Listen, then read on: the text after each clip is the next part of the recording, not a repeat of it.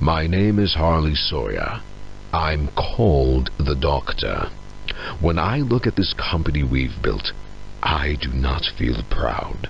Declining profits, failed experiments, people are constantly seeing things they shouldn't. How is that anything less than complete failure on our part? It's pathetic. Now we're understaffed. Safety protocols are being abandoned. Workplace incidents are common. We can't avoid a lawsuit forever. We need to deal with all of these issues at once. I'm here now with a solution. The Bigger Bodies Initiative. Giant toys. We can increase our workforce and simultaneously decrease the number of lawsuits and people on our payroll if the people we have working aren't people. Put me in charge of it, and I will save this company.